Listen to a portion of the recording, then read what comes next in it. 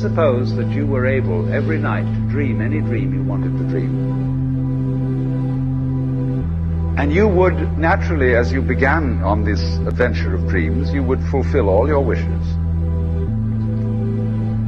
You would have every kind of pleasure.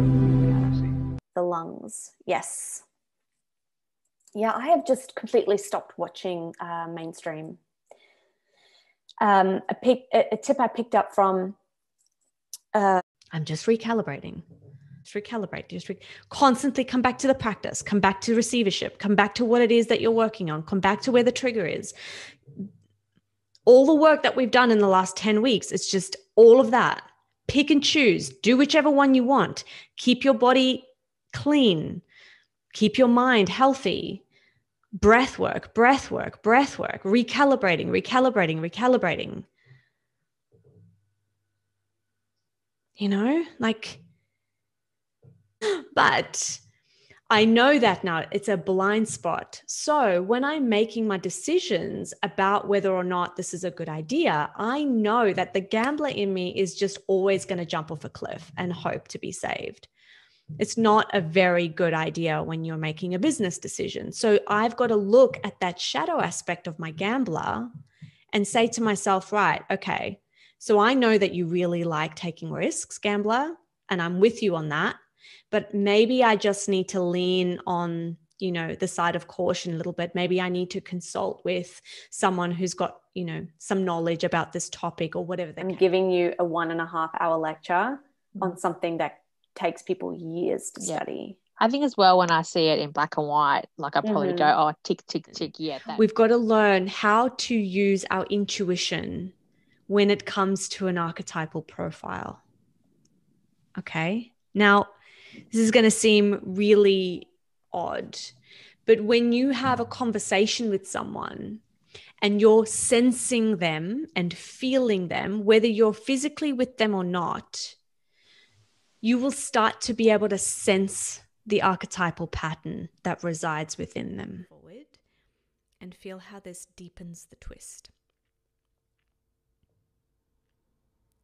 Release the twist, extend your legs, flex through the feet.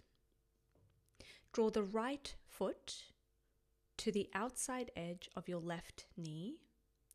Lift your left arm up to the sky, straighten and elongate through that spine. Hook the left elbow to the outer edge of your right knee and twist to the right. Good. Both arms lift up to the sky as you breathe in, palms facing one another. Hold the breath. Breathing out, fold gently. So you're going to drape your body over your bent legs like such. Hold. I wish I had a template that I could be like, do this and then do that, and then go here, touch that rock, put that water on your face, count to count to three, five times, and everything will be better. No. All right, guys. What have we got here? Mic drop moments. Yeah. Super mic drop moments. The, the beat, the interbeat. But there's also hormonal pulses that are going on which are also going to have a certain amount of information. So if you're stressed, the stress hormone is going to be pumped out and that's also going to be encoded as part of this field this of information. You read me? If you're loved up where you are thinking I shoulda, I shoulda, I shoulda. Like what are you making that mean? Mm-hmm.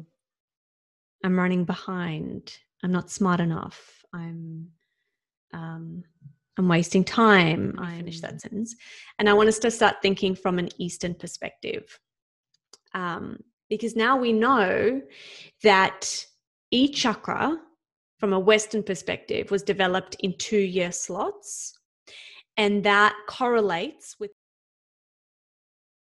is called the karate chop point, which is the little point just between the base knuckle and the palm. So you're just tapping in there karate chop, right? And so I just tap into the karate chop if I'm at a, a point in my life where I actually can't do this whole thing and I'm feeling anxious if I'm on a bus or um, you know, I'm walking or I'm having a conversation with someone and I don't want it to be obvious, I just tap Center. and that's called the pelvic plexus. You see that little guy there?